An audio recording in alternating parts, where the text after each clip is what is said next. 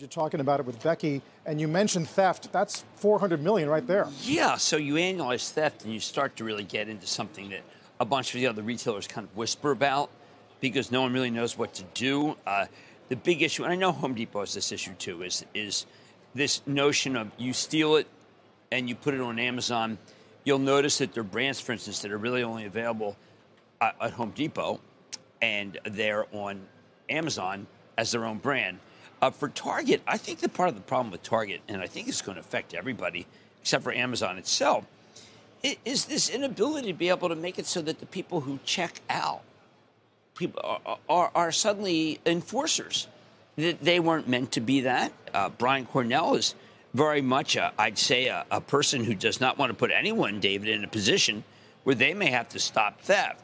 So you've got a, a kind of open season on a store. Yeah, yeah. I mean, that's certainly one uh, interesting, if you want to call it that, component of this uh, of this earnings report was what we call what they call shrinkage, which is basically stealing uh, and you know uh, groups, organized groups that came in and uh, to the stores and do that. But overall, the market is is going to grapple with whether this is target specific whether this really is a reflection of the macro environment. You know, Jim, you and I had spoken in recent weeks about what I had heard anecdotally. I think you had as well, sort of a, some weakness in the consumer towards the end yes. of October. Yes.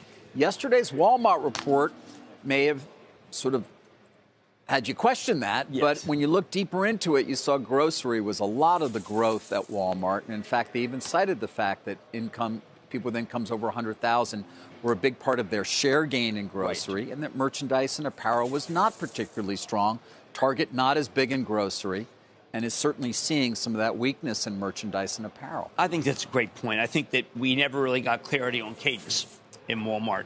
It is very clear that October was a very weak month. We've been saying that. We can address the retail sales numbers, the national, which didn't seem to think weak. No, they didn't um, weak. Carl, uh, Brian Cornell is adamant November's been it, it, has we're not that far in November, but now we're starting to talk about holiday season, and you have to reach some conclusions that something happened in the country during the month of October where it really hit home, whether it be the layoffs in technology, whether it be the discussion, the general discussion of recession. But then you try to jive that with what the numbers that we got today from the government, which would indicate that there was robust retail sales. And, uh, you know, I, I, tend to I tend to believe in Target and Walmart. Uh, now Lowe's was good. Lowe's represents good spend on on the home.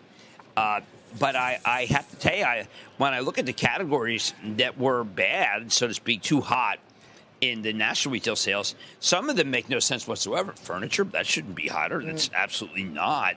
Um, clothing, uh, frankly, clothing's discounted everywhere. Great promotions. Uh, food at the at the at the supermarket remains a real problem. That's a problem. Yeah.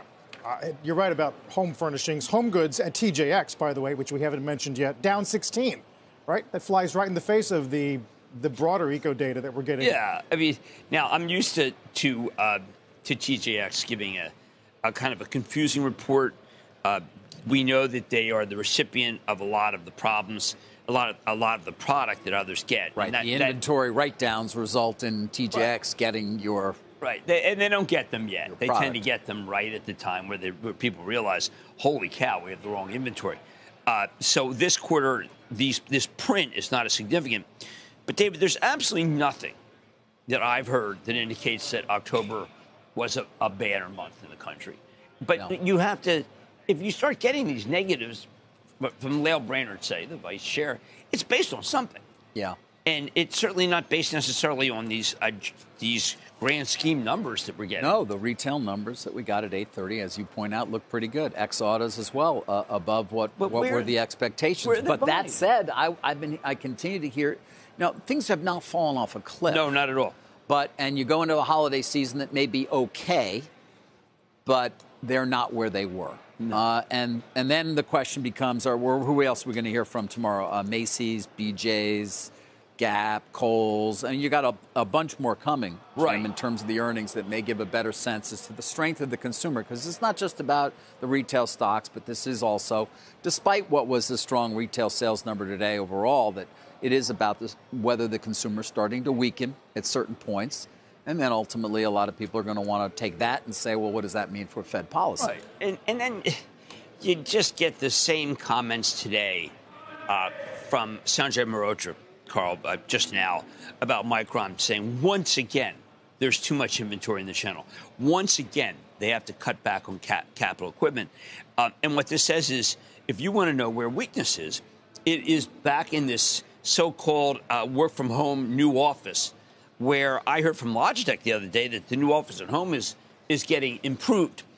But uh, Micron's a very big company, and this is not Sanjay Mehrotra's first time. It is not his second time. No. It is his third time. And Micron is the building block. So, I mean, if you want weakness, uh, buy anything electronic. Now, we hear from Best Buy next week. My understanding is it's okay. Uh, my understanding, uh, but one of the things that's happened, and I, I was uh, kind of grousing this morning was okay, so uh, uh, we, we have people from crypto, and it's not crypto that's the problem, it's uh, the Fed that's the problem. Uh, we have people from s- s- uh, these stores, it's not the problem, it's the macroeconomic picture. But then, David, we have the consumer himself or herself pretty strong. So, I mean, It's, well, again,